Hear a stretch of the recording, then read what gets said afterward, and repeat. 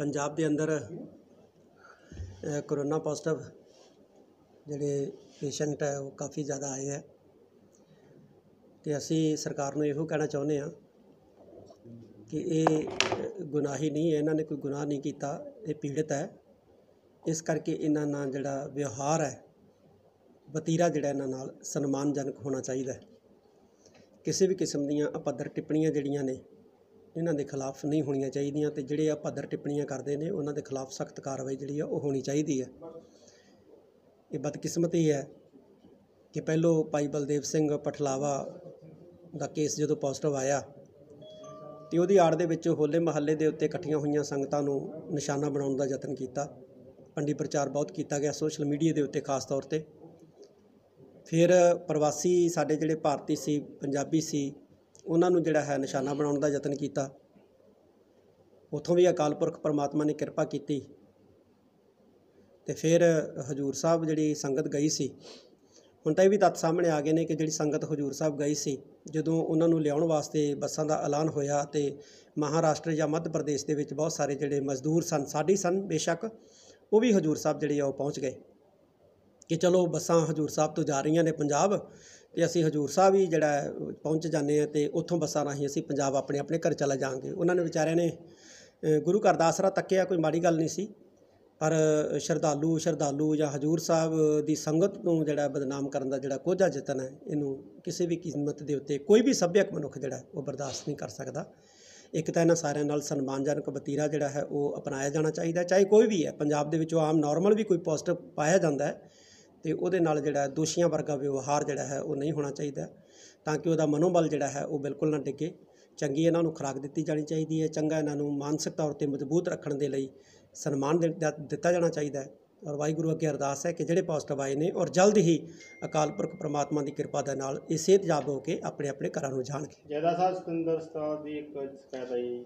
ਉਹ ਅਸੀਂ ਕਰਾ ਰਹੇ ਪੜਤਾਲ ਰਿਪੋਰਟ ਆਈ। ਡਾਕਟਰ ਦੇ ਡੀਸੀ ਵੱਲੋਂ ਇੱਕ ਕੱਲ ਆਰਡਰ ਕੀਤਾ ਗਿਆ ਜੀ ਜਿਹਦੇ ਚ ਉਹਨੇ ਕਿਹਾ ਕਿ ਸਪੀਕਰ ਲਾ ਕੇ ਧਾਰਮਿਕ ਸਥਾਨਾਂ ਤੋਂ ਵੀ ਮਰਿਆਦੀ ਕੀਤੀ ਜਾਵੇ ਕਿ ਕੱਲ ਤੋਂ ਬੜਾ ਬੜਾ ਮੰਦਭਾਗਾ ਹੈਗਾ ਕਿ ਧਾਰਮਿਕ ਸਥਾਨਾਂ ਤੋਂ। ਪਹਿਲੀ ਗੱਲ ਤਾਂ ਹੈ ਕਿ ਸ਼ਰਾਬ ਦੀ ਜਿਹੜੀ ਹੈ, ਖੁੱਲ੍ਹੀ ਜਿਹੜੀ ਹੈ, ਵਰਤੋਂ ਜਿਹੜੀ ਹੈ, ਉਹ ਹੋਣੀ ਹੋਣੀ ਚਾਹੀਦੀ।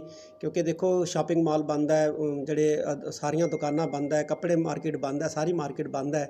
ਤੇ ਇਹੋ ਜੀ ਪੋਜੀਸ਼ਨ ਦੇ ਵਿੱਚ ਅਸੀਂ ਜੇ ਸ਼ਰਾਬ ਨੂੰ ਜਿਹੜਾ ਹੈ ਉਹ ਪਹਿਲ ਦੇ ਰਹੇ ਹਾਂ ਲੋਕ ਘਰਾਂ ਦੇ ਵਿੱਚ ਨੇ ਇਹਦੇ ਨਾਲ ਡੋਮੈਸਟਿਕ ਜਿਹੜੀ ਹੈ ਵਾਇਲੈਂਸ ਜਿਹੜੀ ਹੈ ਉਹ ਵਧਣ ਦਾ ਖਤਰਾ ਹੈ ਘਰੇਲੂ ਹਿੰਸਾ ਦੇ ਮਾਮਲੇ ਜਿਹੜੇ ਅ, ਸ਼ਰਾਬ ਦੇ ਪ੍ਰਚਲਨ ਦੇ ਨਾਲ ਜ਼ਰੂਰ ਜਿਹੜੇ ਵਧਣਗੇ ਜਿਹੜੇ ਕਿ ਸਾਡੇ ਵਾਸਤੇ ਬੜੀ ਮਾੜੀ ਗੱਲ ਹੋਏਗੀ।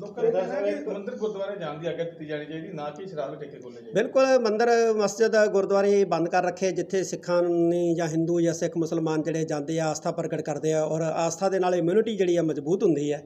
ਤੇ ਉਹ ਤਾਂ ਅਸੀਂ ਬੰਦ ਕਰ ਰੱਖੇ ਆ।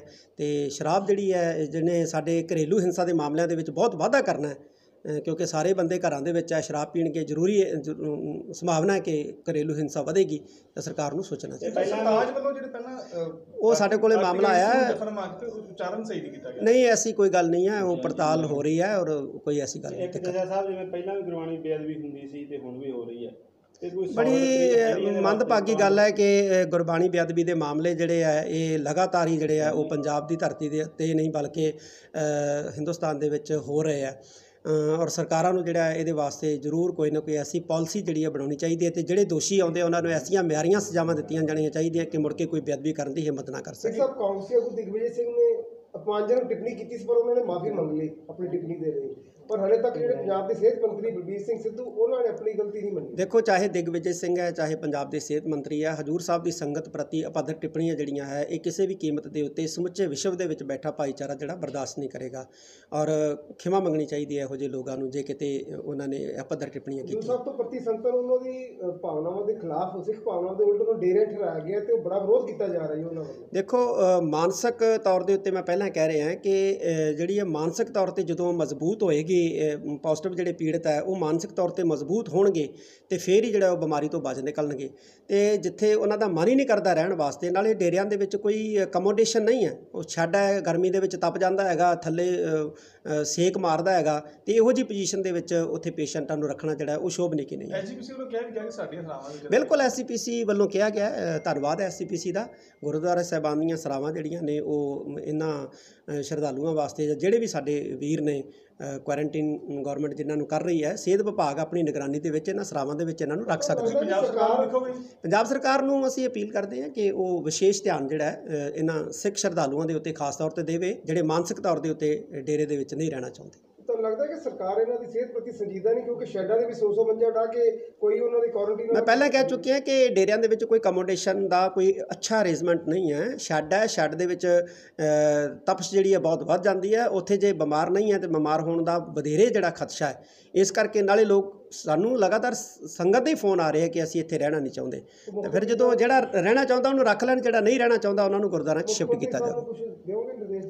ਮੈਂ ਮੀਡੀਆ ਰਾਹੀਂ ਅਪੀਲ ਕਰਦਾ ਕਿ ਉਹ ਇਸ ਪਾਸੇ ਧਿਆਨ ਦੇਣ ਸਿੰਘ ਸਾਹਿਬ ਇੰਗਲੈਂਡ ਦੇ ਵਿੱਚ ਸਿੱਖ ਡਾਕਟਰਾਂ ਨੇ ਇਹ ਕਿਹਾ ਗਿਆ ਕਿ ਕਰੋਨਾ ਪੀੜ ਦਾ ਇਲਾਜ ਕਰਨ ਨਹੀਂ ਉਹ ਦੇਖੋ ਸਿੱਖ ਡਾਕਟਰਾਂ ਦੀ ਜਿਹੜੀ ਐਸੋਸੀਏਸ਼ਨ ਹੈ ਉਹਨਾਂ ਨੇ ਬੜਾ ਵਧੀਆ ਫੈਸਲਾ ਜਿਹੜਾ ਲਿਆ ਹੈਗਾ ਕਿ ਅਸੀਂ ਇਲਾਜ ਹੀ ਨਹੀਂ ਕਰਾਂਗੇ ਕਿਉਂਕਿ ਸਿੱਖੀ ਜਿਹੜੀ ਹੈ ਸਿੱਖ ਨੂੰ ਪਿਆਰੀ ਹੁੰਦੀ ਹੈ। ਤੇ ਸਰਕਾਰ ਵੀ ਉਹਨਾਂ ਬਾਰੇ ਸੋਚ ਰਹੀ ਹੈ ਉਹਨਾਂ ਵਾਸਤੇ ਸਪੈਸ਼ਲ ਸੁਣਿਆ ਮੇਰੇ ਧਿਆਨ ਚ ਆਇਆ ਕਿ ਮਾਸਕ ਤਿਆਰ ਕਰ ਰਹੀ ਹੈ ਤੇ ਅਗਰ ਉਹ ਸਪੈਸ਼ਲ ਮਾਸਕ ਤਿਆਰ ਕਰਕੇ ਉਹਨਾਂ ਨੂੰ ਦਿੰਦੀ ਹੈ ਤੇ ਸਿੱਖ ਡਾਕਟਰ ਆਪਣੀਆਂ ਸੇਵਾਵਾਂ ਨਿਭਾਉਣ ਦੇ ਲਈ ਪੂਰੀ ਤਰ੍ਹਾਂ ਤਿਆਰ ਬਰ ਤਿਆਰ ਨੇ। ਤੇ ਜੇ ਮਾਸਕ ਤਿਆਰ ਨਹੀਂ ਹੁੰਦੇ ਤੇ ਸਿੱਖ ਡਾਕਟਰ ਜਿਹੜਾ ਸਿੱਖੀ ਨੂੰ ਕਦੇ ਵੀ ਨਹੀਂ ਛੱਡਣੇ ਇੱਕ ਕਾਂਗਰਸੀ ਆਗੂ ਹਰਮਿੰਦਰ ਸਿੰਘ ਗਿੱਲ ਦੀ ਲਗਾਤਾਰ ਦੋ ਆਡੀਓ ਆ ਗਈ ਪਹਿਲਾਂ ਔਰਤ ਪ੍ਰਤੀ ਖਿਲਾਫ ਜਿਹੜੀ ਸ਼ਬਦਾਵਲੀ ਵਰਤੀ ਮਾੜੀ ਸ਼ਬਦਾਵਲੀ ਵਰਤੀ ਹੁਣ ਇੱਕ ਸਿੱਖ ਐਸਐਚਓ ਦੇ ਪ੍ਰਤੀ ਮੈਨੂੰ ਲੱਗਦਾ ਕਿ ਉਹ ਮੇਰੇ ਲੈਵਲ ਦਾ ਮਾਮਲਾ ਨਹੀਂ ਹੈ ਉਹ ਪੋਲੀਟੀਕਲ ਮਾਮਲਾ ਹੈ ਸਿੰਘ ਸਾਹਿਬ ਐਕਸਪ੍ਰੈਸਵੇ ਦੇ ਵਿੱਚੋਂ ਅੰਮ੍ਰਿਤਸਰ ਸਾਹਿਬ ਨੂੰ ਕੱਢਿਆ ਗਿਆ ਹੈ।